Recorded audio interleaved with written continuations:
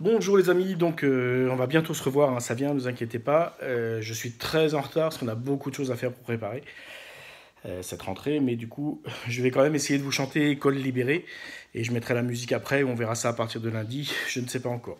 Mais entraînez-vous en tout cas. Donc ça donne on est confinés depuis des semaines. Papa et maman sont devenus professeurs. Notre cours de récré, c'est notre jardin. On se parle juste par message avec les copains. On ne laisse pas tomber. C'est bientôt la date des élèves libérés. Des mois qu'on attendait ça. Et là, on peut dire deux fois. C'est vrai qu'au début, c'était rigolo. Travailler chez soi, c'était plutôt sympa.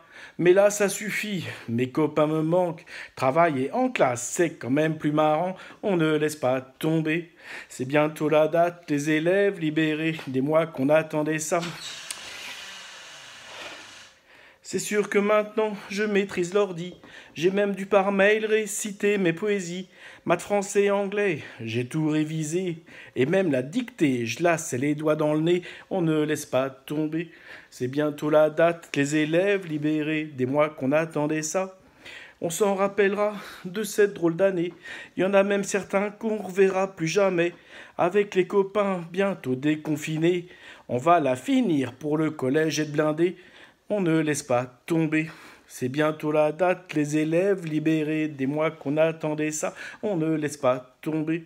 C'est bientôt la date, les élèves libérés, des mois qu'on attendait ça.